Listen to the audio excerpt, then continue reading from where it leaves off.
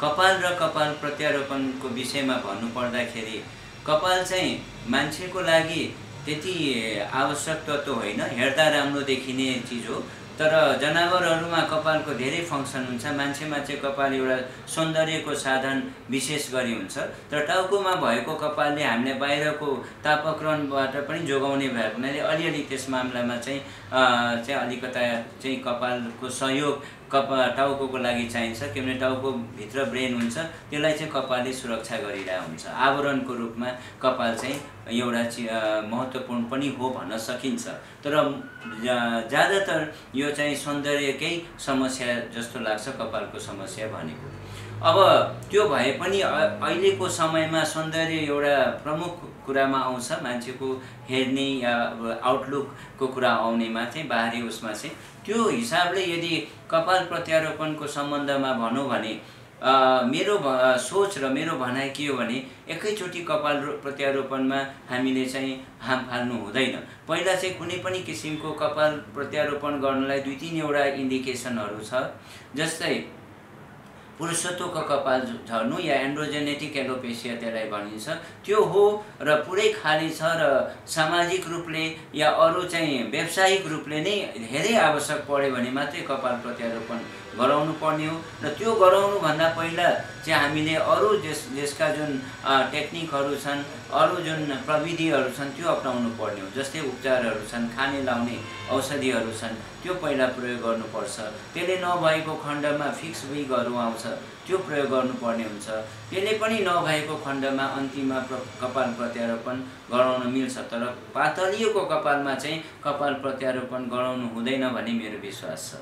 र यो धेरै महँगो भएको कारण चाहिँ एउटा त यसमा अहिले हालको प्रविधिमा धेरै इक्विपमेन्ट्सहरू औजारहरू चाहिने धेरै मान्छे इन्भल्भ हुनुपर्ने डक्टरहरू दुई चारजना नर्सिङ स्टाफ्सहरू चाहिन्छ एसिस्टेन्टहरू चाहिन्छ। एक अर्को कुरा सौन्दर्यको कारणले चाहिँ यो गरिने भएको हुनाले यसमा चाहिँ कस्ट अलि हाई भएको। मेरो विचारमा यदि मान्छेहरू त्यति क्रेज भइदिएनन् भनेदेखि चाहिँ यो प्रविधि चाहिँ यसमा चाहिँ यति महँगो हुन्थेन होला जस्तो लाग्छ र यसमा धेरै क्रेज राख्नु हुँदैन जस्तो लाग्छ। उमेरमा चाहिँ भन्नुपर्दाखेरि यदि धेरै कम उमेरमा जस्तै बाइस वर्ष तेइस वर्षको उमेरमै कसैको चाहिँ मेल प्याटर्न बार्नेस भएको छ भने त्यो इन्डिकेसन राम्रो हो। तर चालिस वर्ष पछि नागेको व्यक्तिमा गराउनु त्यति रिजल्ट चाहिँ राम्रो हुँदैन। जति उमेर बित्दै गयो स्वाभाविक रूपमा त्यति चाहिँ कपाल राम्रो ग्रो गर्ने हुँदैन। त्यसैले गर्दाखेरि त्यो गराउँदा त्यति फाइदा हुँदैन जस्तो मलाई लाग्छ। बिरामीले के याद गर्नु पऱ्यो भने पहिलो कुरा त राम्रो प्रविधि भएको ठाउँमा जानु पर्यो। जहाँ दक्ष चाहिँ डक्टरहरू हुन्छ त्यो एउटा कुरा हो। र एकैचोटि चाहिँ हाम फाल्नु पनि भएन। पहिला पहिला अघि भने जस्तै त्योभन्दा अगाडिको जति चाहिँ उपचारहरू त्यो गरिसकेर नभएको खण्डमा गर्ने हो।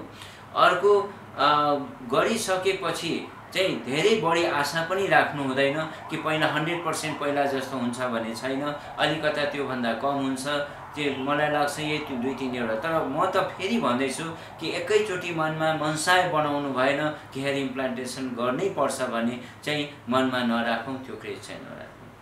गर्दैमा त्यो प्रविधिमा फरक पर्छ धेरै प्रविधिहरू छन् यसका। तर मलाई लाग्छ सबैभन्दा राम्रो प्रविधि यदि अप्नाइयो भनेदेखि सक्सेसफुल रेट चाहिँ साठी प्रतिशतदेखि अस्सी प्रतिशत